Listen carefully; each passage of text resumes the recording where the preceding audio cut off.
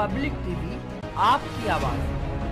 मामला यह है कि doctor Ashok Bajaj PGI city colony में रहते थे, बी इकसठ में। काफ़ी सालों से रह रहे थे।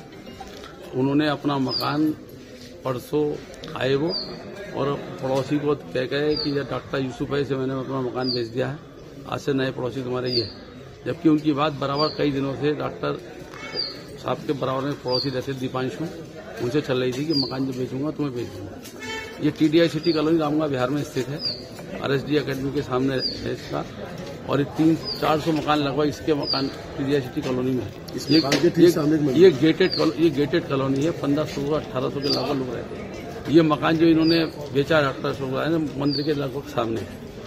और इसने दूसरे समुदाय को व्यक्ति को माल सामान ये जो मकान बेचा है ये धोखाधड़ी और षड्यंत्र के तहत बेचा गया टीटीआई सिटी कॉलोनी वाली, कॉलोनी वासियों को परेशान करने के लिए।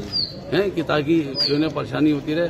हमारा मानना यह है कि जब इतना शहर है, पूरी और जगह है तो डॉक्टर यूसुफ को उन्होंने मकान क्यों बेचा और अगर उन्होंने बेच ही दिया है डॉक्टर यूसुफ को तो हम आपके माध्यम से हम अपील करने आए हैं। सिटी मजिस्ट्रेट से, एडीएम सिटी से सीएम साहब से सबसे मिलेंगे। हमारा मानना यह है कि ये दूसरे समुदाय के मंदिर के सामने मकान उन्होंने लिया है, मंदिर के आसपास मकान है वो।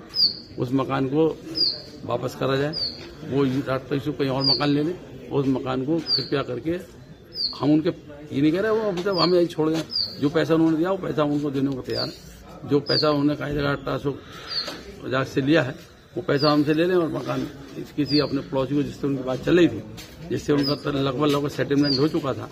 लेकिन कुछ पैसों के लालच में वो उनको बेच गए। तो वो वापस कर दिया है और नहीं तो ये गेटेड कॉलोनी है हमने ये सब रोज के आए दिन झगड़े होंगे। कॉलोनी के वासियों ने तय कर लिया कॉलोनी के गेट हम खुलने नहीं देंगे। किसी को किसी अनाधिकृत आदमी आने नहीं देंगे। डॉक्टर साहब ने भले ही मकान खरीदा हो लेकिन हम ये नहीं चाहते कि इससे भय और सुरक्षा और वातावरण, कानून व्यवस्था की स्थिति पैदा हो सबके लिए। वो हमारे लिए भी होगी, उनके लिए भी होगी।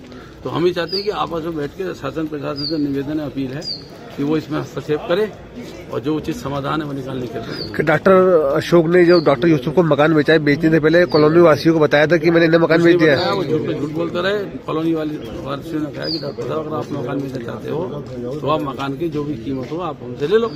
उनके पड़ोसी तो तैयार था। और वो उसे कहते रहे मैं मकान आपको बेच के जाऊँगा आप चिंता मत करो किसी और को लेकर नहीं जाऊँगा और जबकि उन्हें पता था जब ये कॉलोनी बसी थी कि इस कॉलोनी में दूसरे समुदाय के व्यक्ति को मकान नहीं बेचा जाएगा। और जब वही पुराने बहुत पुराने ना रखना शुरू हो जाता।